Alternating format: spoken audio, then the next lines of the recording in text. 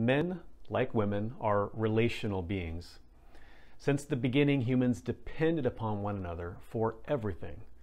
Now, as, impor- as important as it is for a man to discover his personal identity, it's equally critical for him to understand how to relate to others in a way that is healthy for both himself and the others in his life. The sort of actualization of your personal life, your personal identity, is found in your relationships, right? Personal life, relational life, and the value you bring to your community. This is the beauty of humanity. Now, balance is found in developing the foundation within so that you may build a legacy that endures. Now, many surveys have been conducted of people who are near the end of their lives, the aged or with those with terminal illnesses.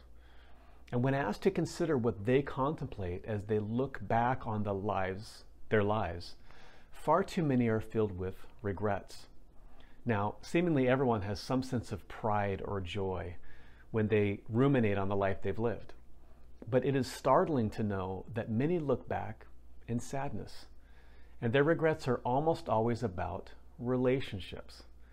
See, no one lies on their deathbed regretting they didn't get that big promotion.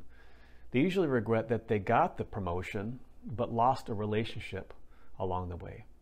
They regret not having spent more time with those they loved. They feel as though they took so many relationships for granted. Yes, it is true that many regrets many regret not having taken more risks starting that dream business, writing that book, traveling the world. But many of those ambitions are actually relationally bound. The business and the book were to help others through sharing their stories or successes. The traveling of the world is, is best enjoyed with the company of those you love. Do not let that be you. We'll work on that. We'll take a good look at both types of relationships that we all have blood, and bonds. Your blood relationships are your family relationships, includes all your family relationships, past, present, and future. Now look, your family relationships have impacted you, and they always will, for better or worse. But you cannot allow them to control you. You can, you can construct a plan and a vision for your family that will excite you, even if it means starting from scratch. For your non family relationships, your bonds, you will learn to pause and consider your present sense of balance and craft a plan to move forward towards greater relational joy. We will consider the bonds of friendship, professional associations with others, and we'll take a good look at also at romantic relationships with women, as this is a core bond for many men. And I have important things to say that you need to hear about romantic relationships. Every one of your relationships begins with you. And there is such a thing as excessive relational focus.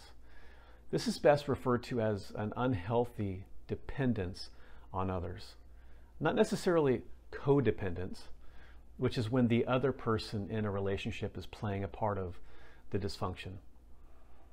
Look, do we need others at times? Yes. Do we need to feel needed? Absolutely. But relational health is forged when a man works deliberately to create a net of relationships such that when he falls, as and every man falls at times, there is a strong net there of all his relationships to catch him. He's not dependent upon any one person or small group. And yes, ultimately, even if every point or person on that net were to fail him, he has done the inner work on himself personally so that he will not be devastated. He will not perish. He has the fortitude to press on. But that should not be the default. Now, with men, neglect of relationships is usually passive, not active. We don't intentionally neglect building or restoring relationships. We simply avoid putting in the work or try to avoid relational conflict. Someday we will work on our relationships, but some days never come. Look, as we work together, I trust that you will begin to see that you can craft a circle or net of relationships that leads you to feel confidently connected with others. You have many people around you who care and will serve as points on your net. And you will have the privilege of knowing that you have chosen to enter into the position of being a point in the lives of the nets of other people that you know. So let's lean into this process of building healthy relationships. I'm here to help.